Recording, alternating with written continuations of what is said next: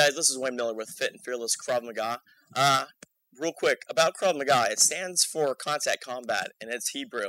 In Israel, when you turn 18, you're required to serve your military, serve your country for several years. They needed a system that was based on instinctive movements that could take people with little or no experience as fighters and build them as fighters as quickly as possible without taking years and years of training uh, to get good at it. So one of the great things about Krav Maga is you get good at it in a short amount of time. And since everything is based on instinctive movements, those defense movements and those techniques that you learn in class can be called upon uh, very quickly under times of fatigue, stress, anxiety, uh, exhaustion.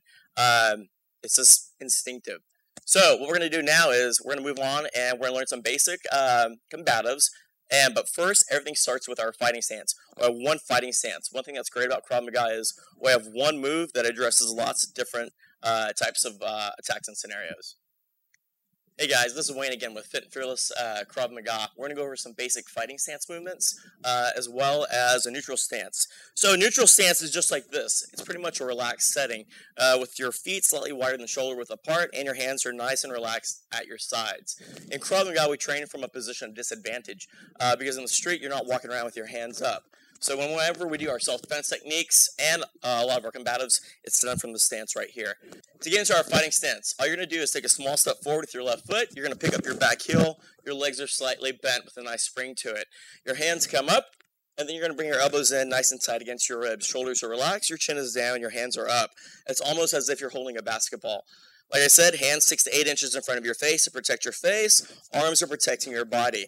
When I advance forward, I'm driving off the ball of my back foot. I'm exploding forward. I'm bursting forward, and I'm opening with my lead leg first, and then my right leg follows. Looks like this. When I go back, it's the exact same principle.